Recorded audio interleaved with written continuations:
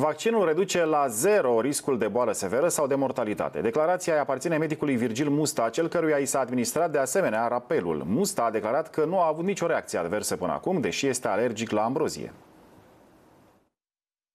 și medicii de la Spitalul Victor Babeș din Timișoara au primit a doua doză de vaccin împotriva COVID-19. Virgil Musta, doctor aflat în prima linie încă de la începutul pandemiei, susține că nu are simțit niciun efect advers, deși suferă de o formă de alergie. Medicul i-a îndemnat pe toți românii să se imunizeze pentru a opri pandemia. Deși sunt alergic la ambrozie, n-am avut niciun efect la vaccin. Consider că este un gest de responsabilitate să te vaccinezi. Acest vaccin este calea de a opri pandemia și de a ne proteja și de a-i proteja și pe alții care nu se pot vaccina din cauza comorbidităților. De fapt, este pașaportul nostru pentru libertate. Eu le recomand să se vaccineze pentru că este important. Se protejează pe ei, reduc la zero riscul de boală severă și de mortalitate. Este esențial în această luptă. Încetul cu încetul vom ajunge să ducem o viață normală, a declarat medicul Virgil Musta. De la începutul campaniei de vaccinare și până în prezent, în județul Timiș au fost vaccinate aproape 10.000 de persoane. 27 au avut reacții adverse, dar reprezentanții DSP Timiș spun că acestea au fost de intensitate scăzută spre moderată.